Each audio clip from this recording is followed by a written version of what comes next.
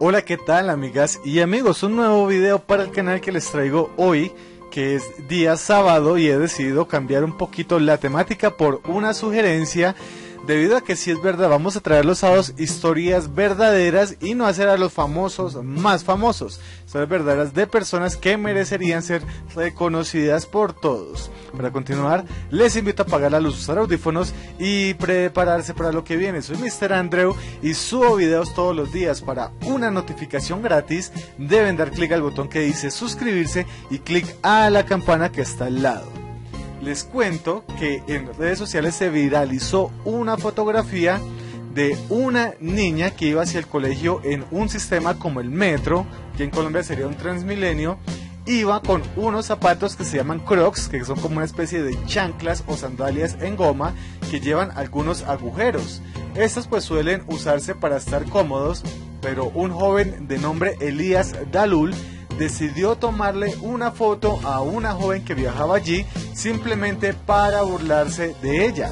Pero todo le salió al contrario y pues su publicación quedaría más bien criticada por las personas y más por lo que ella le contestó en la misma que fue lo siguiente. Hola chicos, quería contarles que soy yo la de la foto. ¿Tengo zapatos?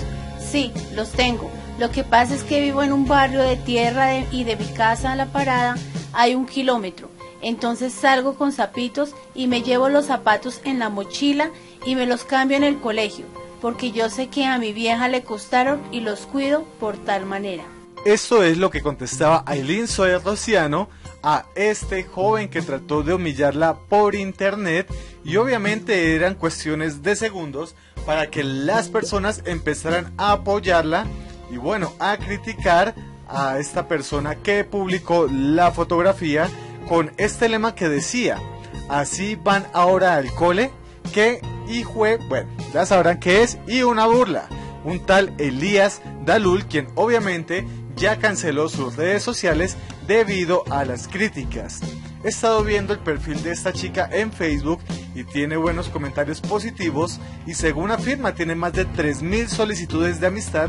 Incluso esta historia la han sacado en algunos noticieros. Y bueno amigas y amigos, ¿qué opinan sobre esto? ¿Qué les parece esta lección de humildad que le dio ella a esta persona que trataba de humillarla? Déjenlo por favor en la caja de comentarios. Y si quieren más historias así los días sábados, déjenlo también ahí que estaré muy pendiente y vamos a tratar de no hacer temas solo de celebridades, sino de personas que merecen ser reconocidas por algunas buenas acciones.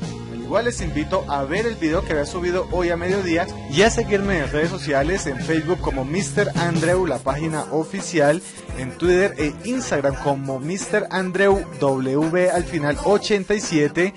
Y bueno, allí les devuelvo la solicitud de seguimiento. Muchas gracias, espero que este video haya sido informativo y del agrado de todos ustedes. Soy Mr. Andrew y hasta una próxima oportunidad.